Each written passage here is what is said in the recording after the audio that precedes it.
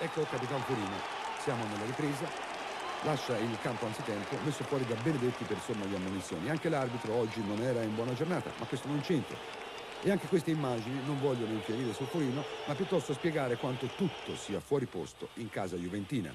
Ora sono saltati anche i nervi e la squadra bianconera, appunto, che si trovava sull'1-2 per rimontare verso un pareggio non impossibile, rivelava senza vergogna i limiti attuali di gioco e anche di carattere. Troppe erano state le ammonizioni. Anche Trapattoni si era imbischiato, togliendo Prandelli non trascendentale, ma mettendo Virdis, o meglio, la sua ombra evanescente.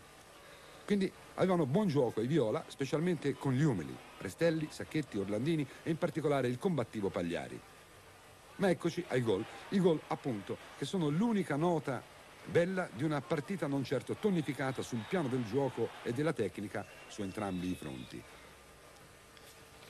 Vedete quanto è bella la sforbiciata di Sacchetti?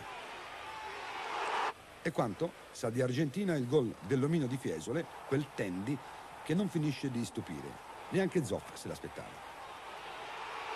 L'impennata Juventina e il gol che parte da un presunto fallo contestato a tavola. Guerini è fermo e Bettega segna. Ma non inganni questo gol. Bettega è tatticamente parlando un elefante per le manovre agili che i giovani chiedono.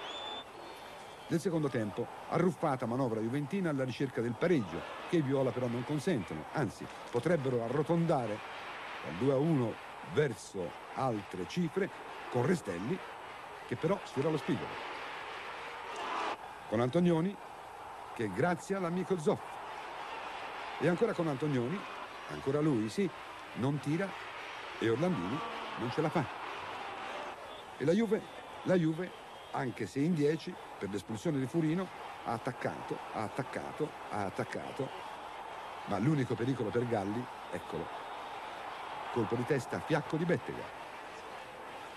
E la Juve ora è a un solo punto in classifica dai Viola che lottano per salvarsi.